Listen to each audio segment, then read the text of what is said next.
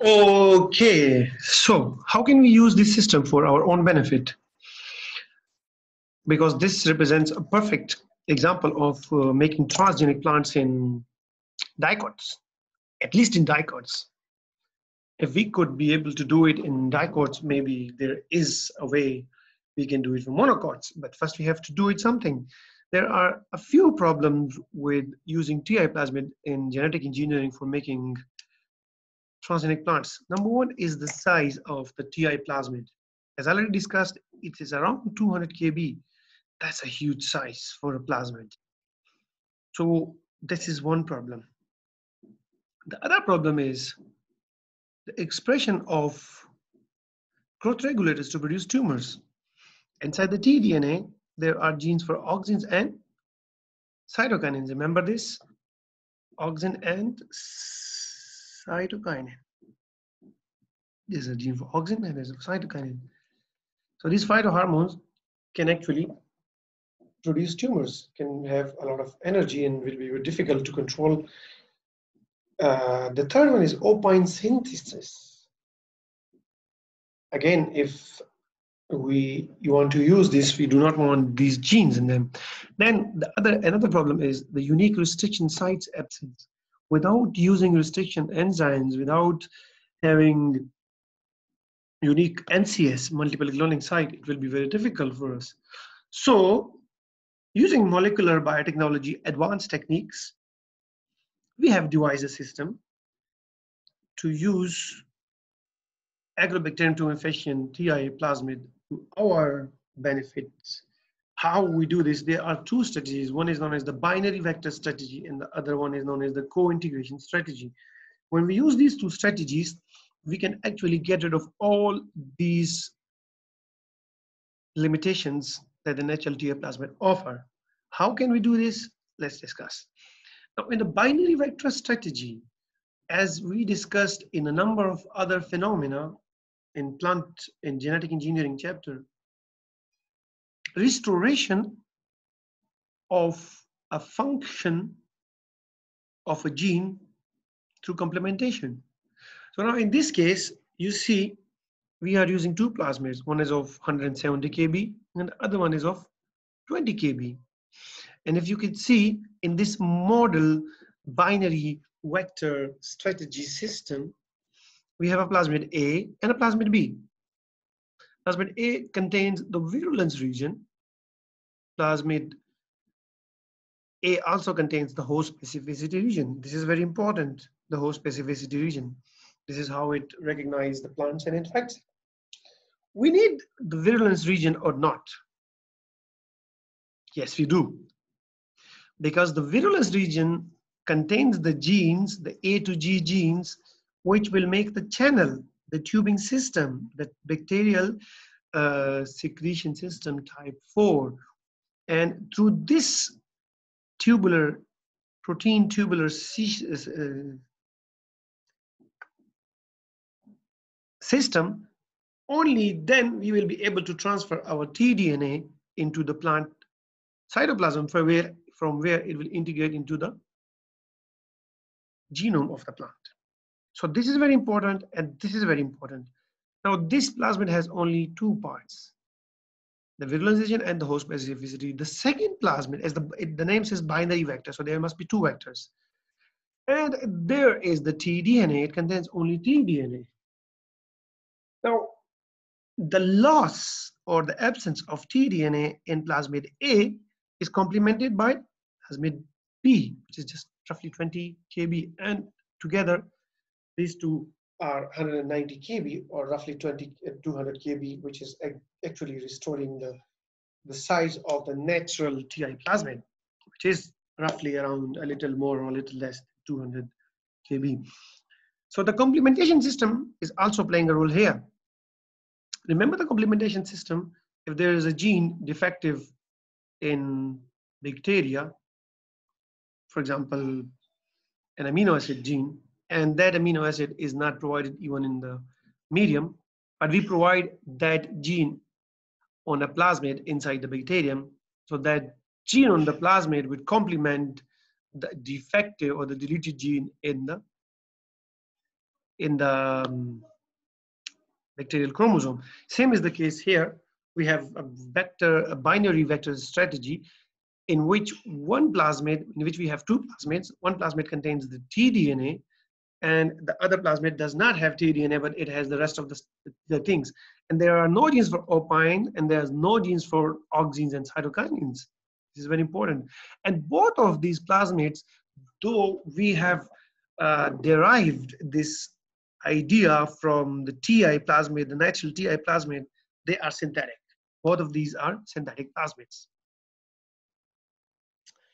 Now to complete how does this happen, we have actually modified this plasmid B. This is a simple representation of the idea, how actually we can do it.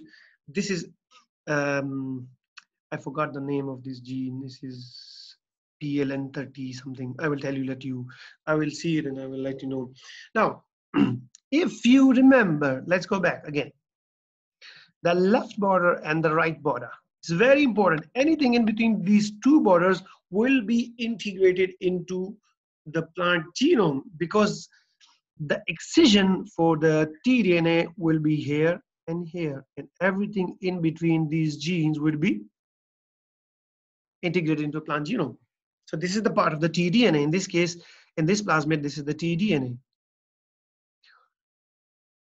The system and the transfer the system of the excision, transfer, and integration of T plasmid would be working as long as it has the left repeat and the right repeat. Whatever is cloned in between these two left and right hand repeats, it does not matter. The plasmid does not know anything. And this is what we are exploiting. We have a leg Z gene here, and inside the leg Z, we have a restriction sites. Then we have a kanamycin resistance for selection of uh, transformants to know which agrobacterium tumefaciens have got our plasmid. And then we have another plasmid. So what we will do, we will take the bacteria, we will let these two plasmids, the bacteria would be necessarily agrobacterium tumefaciens without TI plasmid, without natural TI plasmid. And then these two will be inserted inside them. When these two will be inserted inside them through kanamycin resistance genes, we will find out if or if not, the bacterium has cut this plasmid. And then the next step, what will happen? We will incubate them in plant cells. When we incubate them in plant cells, this host specificity gene and the virulence gene will make the tubing system, will chop, will cut this DNA from this right and left part and this restriction site this is where our gene of interest would be. The gene of interest would be cloned here. LXZ would be insertionally inactivated. We will know through blue white screening if our gene has reached our desired location. And eventually, this part containing the gene of interest would be integrated into plant genome. And eventually, we would have plant genetic engineering done and we will have our transgenic plant. Okay, the last and the second strategy, the last part of the lecture and the second strategy for using TI plasmid is known as co-integration strategy. Now in co-integration strategy, what we use is a normal TI plasmid. The normal TI plasmid, we do not do any changes. What we do, we take a small E. coli plasmid. This is the gene to be cloned. So this is the gene of interest already inside the gene of interest is already inside our small E. coli plasmid. We transform this small plasmid into the Agrobacterium tumefaciens cells. Once inside, there is a small tDNA fragment, and this small tDNA fragment is actually is having um, homology homology towards sequences flanking the tDNA regions. And through homologous recombination, what will happen?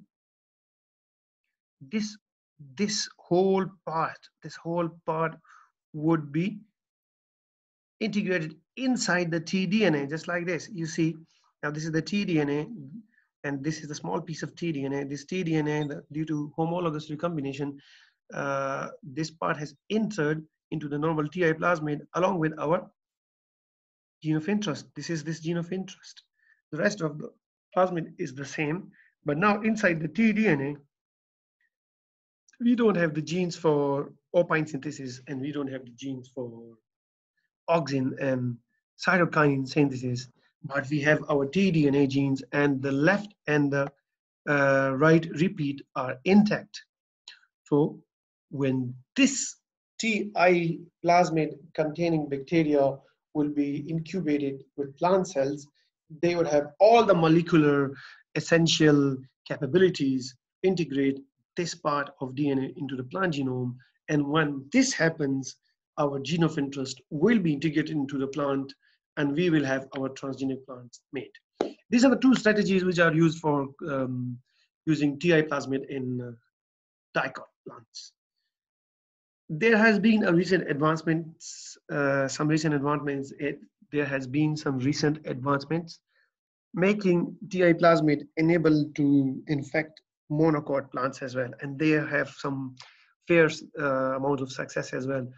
So conventionally, we could not use theoretically, naturally, TI plasmid can only infect monocots, uh, dicots, sorry. TI plasmid naturally can only infect dicots.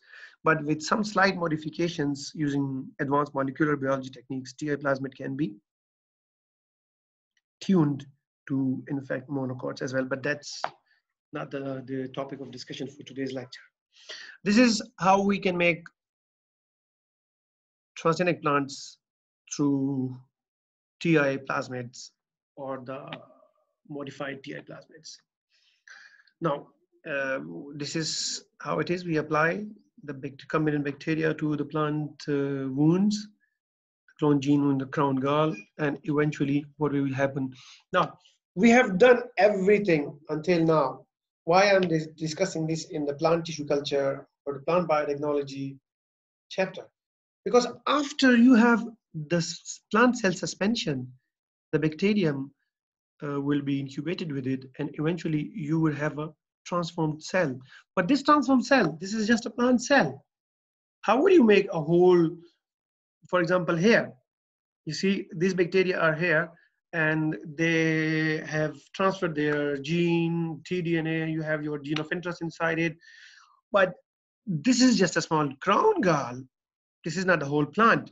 How can we make a whole plant? How can we make a transgenic plant? This is just a, just a small part of the stem that is transgenic. We will have the cells from here and tissue cultures. We will have callus from the callus, providing the ample amount of auxins and cytokinins we will have the shoots and the roots, and eventually a whole plant will be produced from these uh, few cells through plant tissue culture. This is to tell you whatever type of genetic engineering approach you have in plant biotechnology, the end of the day, you will have to come to plant tissue culture so that you can take these few cells or you can take that particular piece of plant which we call as explant and then in a specific medium through the help of aseptic conditions and growth hormones we will convert them into callus and then to, we will develop roots and shoots and eventually the small embryos going to nurseries and then to the fields you will have these transgenic plants about the meristem culture, uh, this is one part of the course we also have to discuss. Meristem culture is very um, important for making disease-free disease-free explants. So it's a very small topic, but the apical meristem tips of the plant, it is um, of vital importance because we use it with thermotherapy. Now, what is meant by thermotherapy? We have an explant. Let's suppose we cut the apical meristem tips of a plant. It is already known to have very little viruses or no viruses. It's literally virus free. That's why we prefer this. And we will heat it until certain degrees like 80, 85, 90 degrees centigrade for a few minutes. And with that temperature treatment, which is known as thermotherapy, some of the bacteria which are prone to die at, at this elevated temperature along with um, fungi will also die. And this is, and there are already no viruses in this part of the plant tissues. We can use thermotherapy, and apical meristem tips so that we can have virus, bacterial, and fungal-free explants for successful in vitro propagation of plants. This is going to be an assignment. There's going to be an assignment for you so about somatic embryogenesis. How do they differ from the conventional embryogenesis? What are the different types and steps involved in the somatic embryogenesis in terms of plant tissue culture? There are two methods, direct and indirect, and what are the major applications? And how do you attempt this assignment is exactly the same way individually, handwritten, blank pages, maximum limit is four pages in this case. Do not exceed the limit like last time. Many of you had gone to three and four pages and the deadline to submit is 3rd of May. This is going to be the end of our today's lecture. If you have any questions, I will be glad to answer them in the tomorrow uh, interaction session. Take care and have a nice Aftari coming up. Allah Hafiz.